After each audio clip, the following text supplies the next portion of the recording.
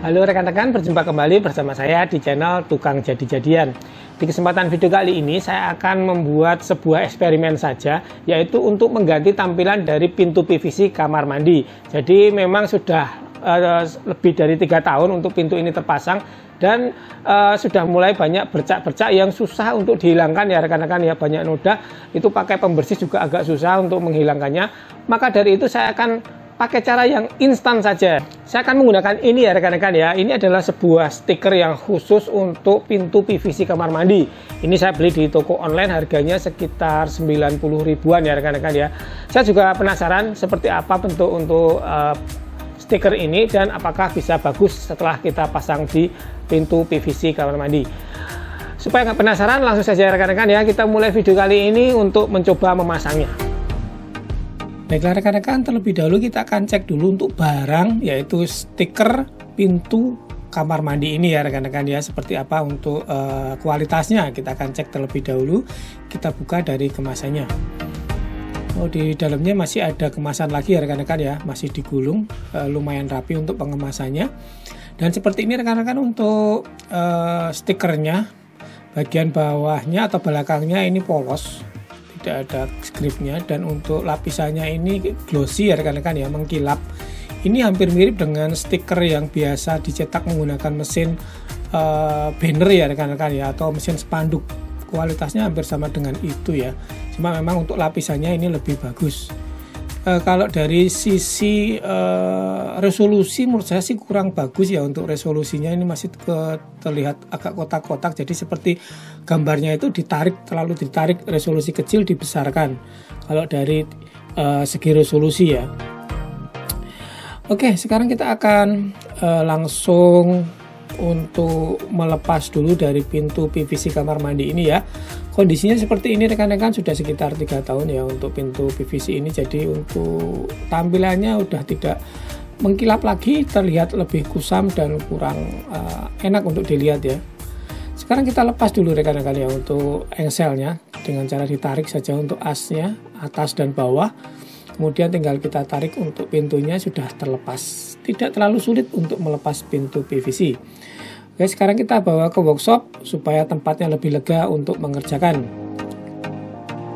Oke, seperti ini sudah kita letakkan di atas meja kerja. Bentuk pintu PVC ya seperti ini ya rekan-rekan ya, umum ukurannya juga standar. Dan ini lihat rekan-rekan eh, terlihat sudah kusam dan eh, banyak bercaknya. Sekarang langkah pertama kita lepas dulu dari handle-nya ya. Ini handle-nya model biasa. Ada juga yang sudah model bulat ada kuncinya itu ya. Kita lepas saja ini yang model eh, biasa minimalis. Kita lepas untuk handle-nya. Kemudian ini untuk bagian uh, lubang anginnya juga kita lepas juga.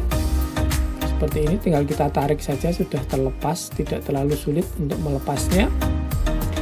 Dan selanjutnya kita bersihkan ya rekan-rekan ya kita lap dengan air basah eh kain basah saja. Jadi uh, menghilangkan debu-debu saja supaya nanti bisa nempel dengan bagus untuk uh, stiker uh, pintu kamar mandinya.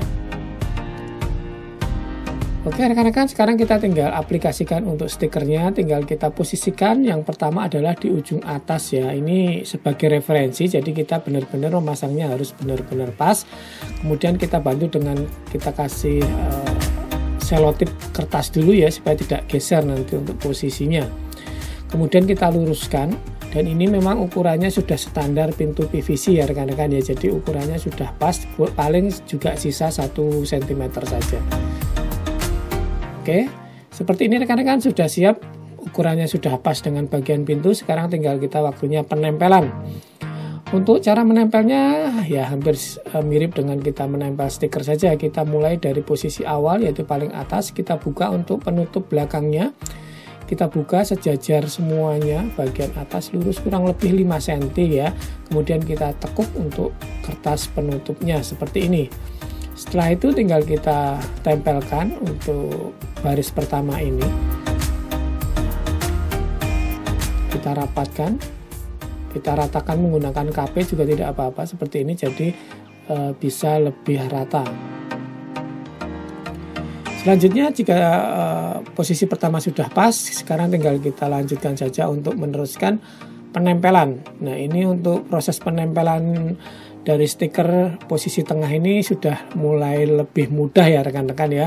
Cuma memang kita harus teliti kadang-kadang ada gelembung udara yang ada di bagian tengah kita harus uh, arahkan ke bagian pinggir supaya nanti tidak menggelembung di bagian tengahnya. Sebenarnya cuma itu saja ya rekan-rekan ya untuk penempelan stiker model seperti ini yang penting kita teliti dan sabar saja untuk mengerjakannya.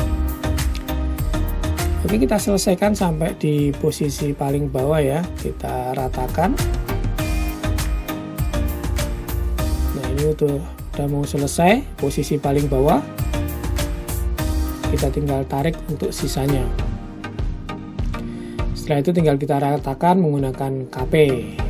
Seperti ini rekan-rekan sudah selesai untuk proses penempelan bagian tengahnya. Sekarang kita akan hilangkan untuk posisi bagian lubang handle di sini ya, lubang pegangan. Caranya tinggal menggunakan cutter seperti ini, kita potong e, saling menyilang dan setelah itu tinggal kita potong pinggirnya tidak terlalu rapi tidak apa-apa nanti kan tertutup oleh handle-nya jadi terlihat lebih bagus nanti Kemudian untuk bagian lubang anginnya jangan lupa kita juga hilangkan juga bagian tengahnya ini dengan cara tinggal kita potong mengikuti posisi dari lubang anginnya. Ini bentuknya kotak kita rapikan. Setelah itu tinggal kita selesaikan untuk posisi tepi dulu ya rekan-rekan ya. Ini untuk posisi tepi listnya ini kita potong menggunakan cutter, kemudian tinggal kita tarik untuk sisanya. Kemudian bagian potongan yang bagian dalam kita rapikan menggunakan KP. Seperti itu rekan-rekan, simple untuk uh, finishing bagian pinggir-pinggirnya. Kita tinggal selesaikan mengikuti dari uh, posisinya ya, mengelilingi dari bagian tepi dari pintu. Kemudian setelah itu tinggal kita kembalikan posisi dari handle plastik ini dari posisi belakang kita skrup Oke rekan-rekan sudah terpasang untuk handle-nya. Jangan lupa untuk bagian uh, lubang anginnya kita tinggal pasang dengan cara kita tekan seperti ini saja sudah mengunci dengan rapat. Nah hasilnya seperti ini rekan-rekan. Dilihat juga sudah rapi dan sudah rata. Sekarang tinggal kita pasang di kamar mandi. Seperti ini untuk pemasangannya.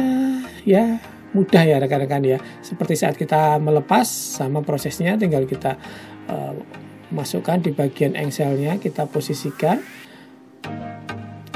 Setelah itu tinggal kita kunci menggunakan as engselnya tinggal kita dorong seperti ini bagian atas dan bagian bawah juga tinggal kita pasang.